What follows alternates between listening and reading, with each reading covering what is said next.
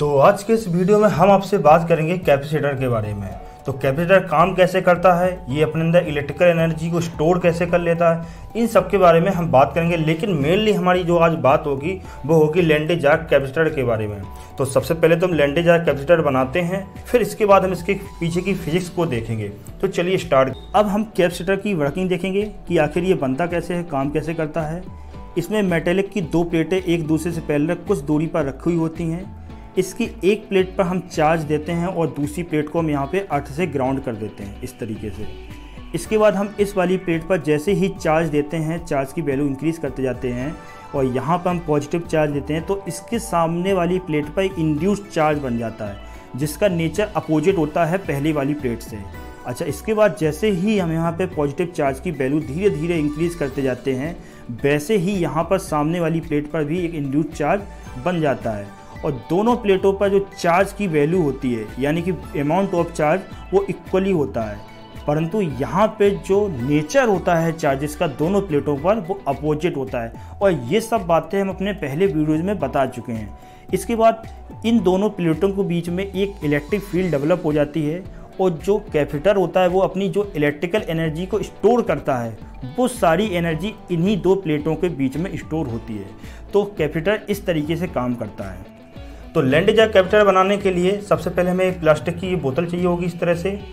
इसमें भरने के लिए हमें नॉर्मल वाटर चाहिए होगा और कुछ सॉल्ट चाहिए होगा। ये नमक, खाने वाला नमक है। और ये टैप और एक ये पीवीसी पाइप इससे हम स्टैटिक चार्ज प्रोड्यूस करेंगे। और ये है एलुमिनियम फॉयल जो कि बहुत ही इम्पोर्टेंट है। इस एलुमिनियम फॉयल को हम इस बोतल के ऊपर यहाँ पर रैप कर देंगे इस तरीके से। ये हमने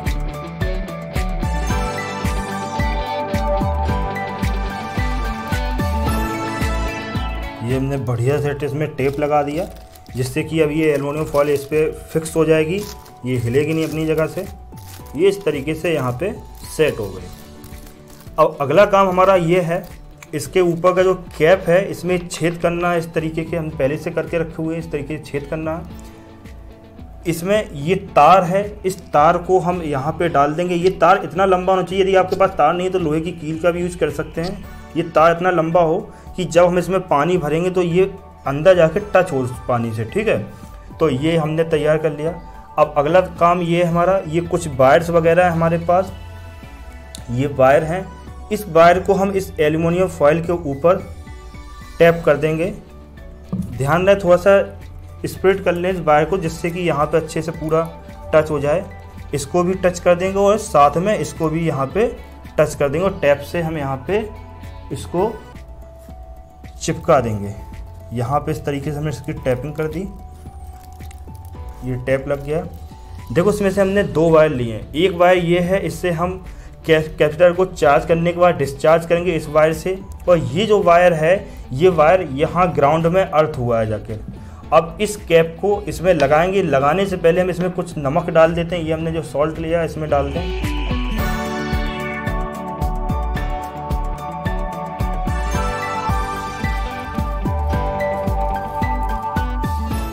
ये नमक हमने इसमें डाल दिया। अब अगला काम हमारा ये है कि इसमें हम पानी भर देंगे अब। बोतल में।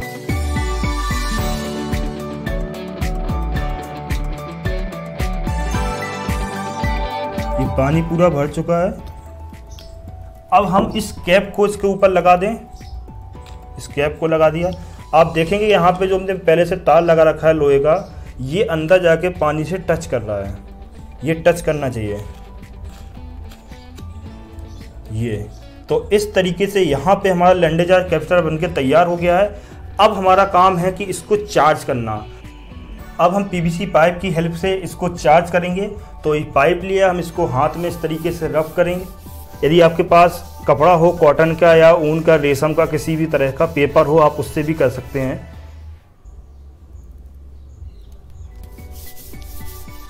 तो आपको टच नहीं करना है, आप बस ऊपर से इस तरीके से ले जाएँ। जब ये चार्ज होगा तो उसमें से आवाज़ आएगी तो आप उस आवाज़ को सुन सकते हैं।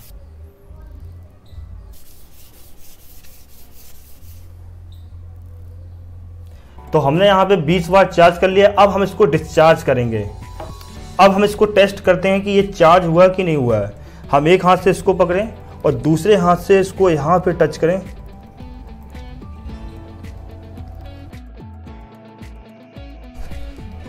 तो यहाँ पे हमें एक छोटा सा शॉक लगा है। यदि आप इस बायर से, बायर को यदि आप यहाँ टच करेंगे तो एक स्पार्क मिलेगा। तो चलिए हम इसको फिर से चार्ज करते हैं।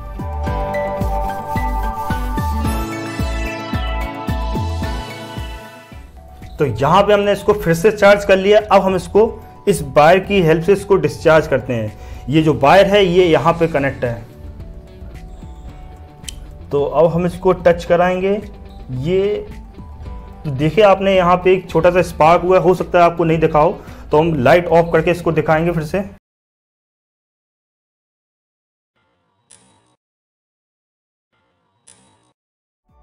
अब हम यहाँ पर ये देखेंगे कि लैंडेजाक कैपेसिटर काम कैसे करता है, यानी कि ये चार्ज और डिस्चार्ज कैसे हुआ। आपको जैसे कि पता है कि हमने यहाँ पे पीवीसी पाइप ले रखा था, और पीवीसी पाइप के थ्रू हमने इसको चार्ज किया था। और पीवीसी पाइप से जो निकलने वाला चार्ज है, वो स्टैटिक चार्ज था, वो नेगेटिव चार्ज था। और ये नेगेटिव चार्ज इस कील के थ्रू पूरा अंदर चला जाता है। आपको जैसे कि पता है, हमने प्लास्टिक की बोतल ले रखी थी और वहाँ पर जो हमने कील की जगह, एक लोहे का हमने तार लगा रखा था। उस लोहे के तार से ये नेगेटिव चार्ज ये पानी के अंदर पूरा चला जाता है। और जो पानी होता है, ये प्योर कंडक्टर नहीं होता। है इसलिए हमने यहाँ पर एक नमक का यूज़ किया था और जिससे कि ये पानी जो है वो इलेक्ट्रोलाइट हो जाए। इसके बाद होता ये है कि ये नेगेटिव चार्ज इस पानी के अंदर पूरे में धीरे धीरे धीरे धीरे जमा होता जाता है। और बाहर जो हमने एक एलुमिनियम की फॉल लगा रखी थी, वहाँ पर पॉजिटिव चार्ज इकट्ठा होता जाता है। इस प्रकार से यहाँ पर दो टर्मिनल बन जाते हैं। एक ये नेगेटिव टर्मिनल और एक ये पॉजिटिव टर्मिनल तो जब हम इसको डिस्चार्ज करते हैं तो फिर यहाँ का पॉजिटिव चार्ज और यहाँ का नेगेटिव चार्ज एक दूसरे से मिलकर एक स्पार्क देता है और ये अपनी एनर्जी को रिलीज़ कर देता है। तो इस प्रकार से ये लैंडेज या कैपिटल काम करता है। तो इस तरह से आप लैंडेजा कैरेक्टर को अपने घर पर भी बना सकते हैं। बस थोड़ा सा केयरफुली से चार्ज करें, क्योंकि ज़्यादा चार्ज करने पे ये आपको ज़बरदस्त शौक लग सकता है, क्योंकि ये अपने अंदर हज़ारों किलो वोल्ट एनर्जी को स्टोर कर लेता है। तो अच्छे से बनाएँ। तो आज के लिए इतना ही। Thank you so much.